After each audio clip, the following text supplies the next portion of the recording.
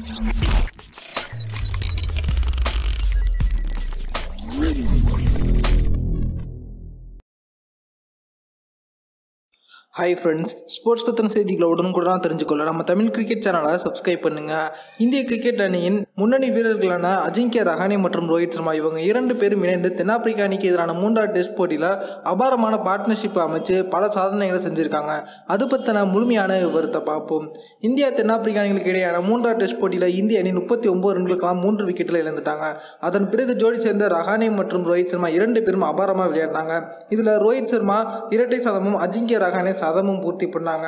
அஜிங்கிய ரகானே இந்த போட்டியில் சதம் அடித்ததன் மூலமாக சர்வதேச சர்வதேச டெஸ்ட் கிரிக்கெட் போட்டியில் தன்னுடைய பதினோராவது சதத்தை பூர்த்தி பண்ணியிருக்காரு. அதே போல் இந்திய மண்ணில் அவருடைய நாலாவது சதமாக இது அமைஞ்சிருக்கு. அதே போல் இந்திய மண்ணுக்குள்ள இரண்டாயிரத்தி பதினாறாம் ஆண்டுக்கு பிறகு இதுதான் அவருடைய முதல் சதமாகவும் அமைஞ்சிருக்கு. தென்னாப்பிரிக்கா அணிக்கு எதிராக இது மூன்றாவது சதம் அப்படிங்கிறது குறிப்பிடத்தக்கது.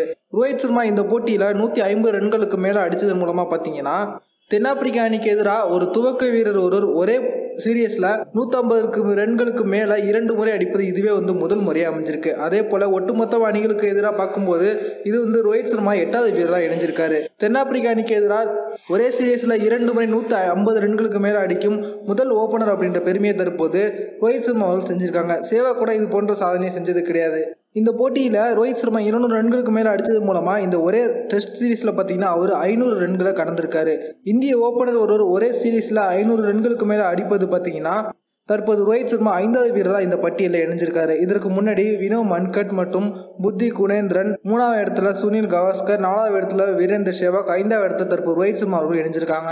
இதில் சுனில் கவாஸ்கர் மற்றும் ஐந்து முறை இந்த சாதனை செஞ்சிருக்காங்க அப்படிங்கிறது குறிப்பிடத்தக்கது. தென்னாப்பிரிக்கா அணிக்கு எதிரான இந்த தொடரில் பார்த்தீங்கன்னா இந்திய அணியில் மூணு வீரர்கள் தற்போது மூணு முறை இருநூறு ரன்களுக்கு மேலே அடிச்சிருக்காங்க. இது வந்து இந்திய டெஸ்ட் கிரிக்கெட் வரலாற்றில் இரண்டாவது முறையாகும். தற்போது இதில் முதல் போட்டியில் மயங்க் அகர்வால் இருநூத்தி பதினைந்து ரன்களும் இரண்டாவது போட்டியில் விராட் கோலி இருநூத்தி ஐம்பத்தி நாலு ரன்களும் விராட் கோலி தற்போது இந்த போட்டியில் இருநூறு ரன்களுக்கு மேலேயும் அடிச்சிருக்காங்க.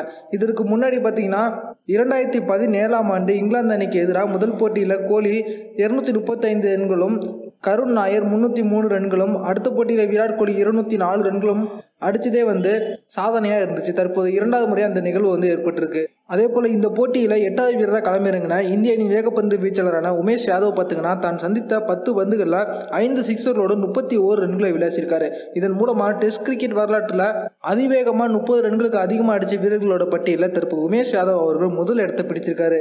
இரண்டாவது இடத்துல நியூசிலாந்து அணியை சேர்ந்த முன்னாள் வீரரான எஸ் பிளம்மிங் அவர்களும் மூன்றாவது இடத்துல வெஸ்ட் இண்டீஸ் அணியை சேர்ந்த நாம் கிளேன் அவர்களும் இருக்காங்க. இதில் ஃப்ளம்மிங் அவர்கள் பதினோரு பந்துகளில் முப்பத்தி ஒரு ரன்களும் மெக்லேன் அவர்கள் பன்னிரெண்டு பந்துகளில் முப்பத்தி ஒரு ரன்களும் அடிச்சிருக்காங்க. ஆனால் உமேஷ் யாதவ் மட்டும் தான் பத்து பந்துகளில் முப்பத்தி ஒரு ரன்கள் அடித்து இந்த பட்டியலில் முதல் இடத்துல இருக்காரு. இந்த வீடியோ உங்களுக்கு பிடிச்சிருந்துச்சுன்னா லைக் பண்ணுங்கள் ஷேர் பண்ணுங்கள் நன்றி.